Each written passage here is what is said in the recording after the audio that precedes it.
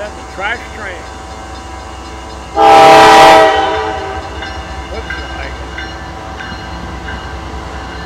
Yeah, it is. Right.